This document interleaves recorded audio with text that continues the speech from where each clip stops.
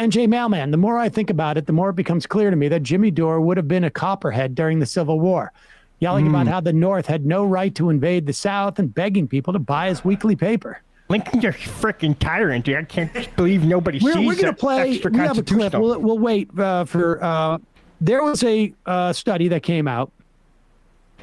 Well, I'll wait. I'll wait until Emma's back, because um, this is just again the the desperation to to make money or you know and to fulfill and to and and, and you know one of the things that happens and I'll wait till Emma gets in here. But one of the the things that that happens when you start to uh, pop Emma up here, one of the things that happens when you start to cultivate a right wing audience is you start to take your news from right wing sources, and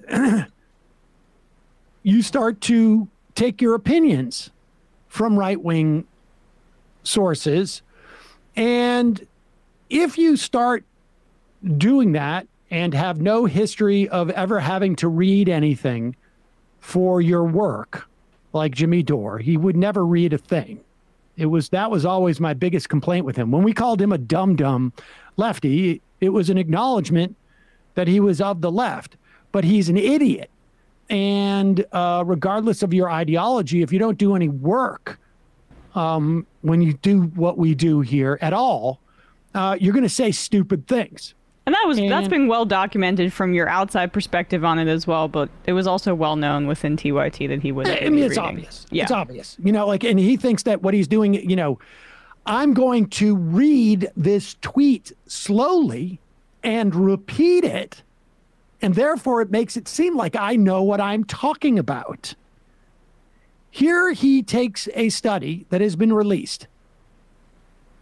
And the study shows they studied depressed people and they did not find a uh, an or I should say a excess of serotonin or I should say, or I should say an absence of serotonin. When you take a SSRI, a serotonin uh, uptake inhibitor, it keeps the serotonin in your uh, in your brain essentially, and from receding. Serotonin is released, and then it's uh, essentially uh, reabsorbed. It, it keeps it from being reabsorbed. Um, nobody's quite sure why SSRIs work. They only know that, you know, with ones that have been around for an extended period of time and, and others, what the side effects are and how dangerous they are. But it's quite, um, you know, uh, typical for people who go on SSRIs to play with the dosage, to switch to other ones uh, because one might make them drowsy or one might make them feel jittery and switching them. So science doesn't know, but this this um, research does not speak to the efficacy of serotonin uptake inhibitors. It talks about the relationship between only between serotonin and depressed people. And it doesn't address the efficacy of SSRIs at all, but that's not what right wing blogs said because they're still on their anti COVID vax um, jag, essentially. Yeah, this is anti vaxxers branching out. Yeah. And, and here is, I give you uh, Jimmy Dore's latest a new study, The Serotonin Theory of Depression, a systematic umbrella review of the evidence. So they did a systematic umbrella review of the evidence. I repeated umbrella uh, view. And who, who were they? These are researchers from the University College London. They conducted what they call an umbrella review of Again? past meta studies and they did systematic analysis of depression's relationship to serotonin activity and it included tens of thousands of participants i think that comes from the hill so here, here it is from this paper it says our comprehensive review of the major strands of research on serotonin shows there is no convincing evidence that depression is associated with or caused by lower serotonin concentrations or activity. That's exactly what Tom Cruise was just saying. He was saying there is no chemical imbalance. And now this paper is proving it. I, pause I've heard for other people say. No, Uh, that is not what the paper is proving. And also, he's citing Tom Cruise here. Tom Cruise. The People reason trying to cancel Tom Cruise now.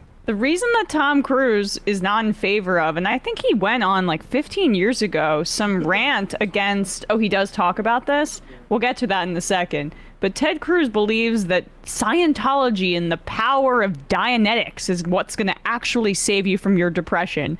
And so now that's the source that we're saying has the right idea about antidepressants? Tom really? Cruise, not Ted Cruz. I think you might have said. Did I say Ted? Yeah, Tom Cruise. Well, I'm not used to talking about Tom Cruise in this setting, but here we go, Jimmy Dore clip. All right, uh, uh, continue here. And remember, this is not what the study says. The studies study is only looking at one narrow thing, and it is actually a study of other studies. activity. That's exactly what Tom Cruise was just saying. He was saying there is no chemical imbalance. And now this paper is proving it. I've heard other people say it and thought they were kooky for saying it. I've heard other people say that there's no chemical imbalance. I, I thought for sure it was.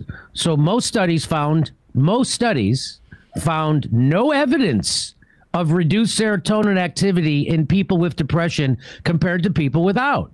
And methods to reduce serotonin availability using tryptophan depletion do not consistently lower mood in volunteers. So when they got rid of the serotonin artificially when they just when they did that they lowered people's serotonin levels it didn't lead them to ha- have a uh, bad mood so they're they're saying there isn't a connection between serotonin and mood that's what they're saying and that there's no evidence of that people with uh, uh, reduced serotonin is is present in people with depression just what tom cruise was saying 17 years ago Tom Cruise almost two decades out in front of the rest of the goddamn medical profession.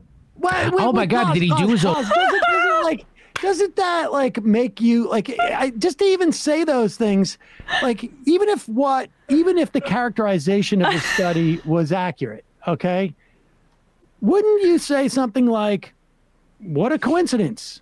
Uh, like, what a coincidence that Tom Cruise was right because there's no way Tom Cruise knew any Yeah. of this. Well, also, you couldn't say the Scientologists who told Tom Cruise about this were right because that would sound in, immediately discrediting to an audience. Oh, but not citing an action hero and saying that he was ahead of scientists by two decades when he criticized Brooke Shields That's for why taking Sci- antidepressants. That's, I mean, that's, That's science. why Scientology uses celebrities, though. I know, I know.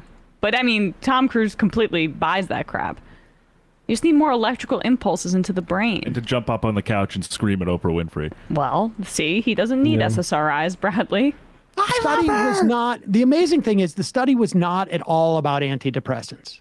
It didn't involve antidepressants Gotcha. whatsoever. And they just don't know um, why anti, uh, antidepressants work. But all of the uh, evidence, you can go look at the uh, Lancet. I'm looking at one here. Uh, comparative of efficacy and acceptability of 21 and this is Lancet's coming out of Britain, uh, of 21 antidepressant drugs for the acute treatment of adults with major depressive disorder, a systemic review and network meta-analysis. The the the the, the summary is um, essentially that the best available uh, evidence prescription of these agents should be informed by the best of it. Therefore, we aim to update and expand our previous work to compare and rank antidepressants for the acute uh, treatment of adults with unipolar uh, major depressive disorder. And their findings was that there was efficacy. And again, it's not clear why these things work, but um, they work. And it it is maybe the process of inhibiting uh, serotonin. Maybe there's like knockoff effects. But when you have people who are idiots who try and interpret these things because they want to overlay their, I- hesitate to call it an ideology, but I guess it is on some level. They want to overlay their ideology onto things they can't, they don't know how to read. and they won't accept um, experts reading it. They're li- literally citing Tom Cruise, who I can assure you did no research regarding this. No. Um, it is interesting too how they're trying to parlay this vaccine skepticism into broader skepticism about other drugs. Yeah. And for me, um, this is an obvious attempt by someone like Dore and other influencers trying to appeal to the right wing.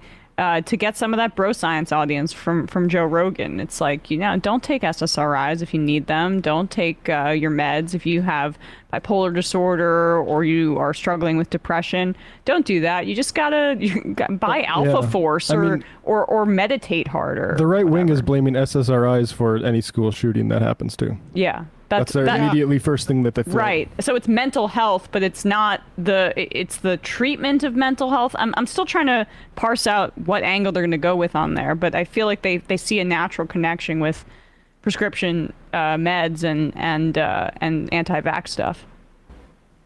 It's super dangerous too. Again, we're in another realm where it's just super dangerous to do this Yeah. uh, because antidepressants have saved I, I don't know how many lives, but I and mean, like uh, that you would even go into this field and then you know i mean in before he complains about how people are criticizing him for just asking questions but like about things that you are not don't feel responsible for actually. Like does he res- feel responsible for people who didn't get the vaccine and used got a monthly prescription to ivermectin instead? Of course not. He doesn't actually give a shit about any of this stuff but he'll still be put upon uh, feel, and act aggrieved when people criticize him for it Yeah, it's fascinating. I, I really don't know how someone operates like that unless they're, you know, I I mean, his self medication is really what it is. I mean, that's why when you you need to drink uh, to the extent that he does and take other substances, that's why. That's the self medication there.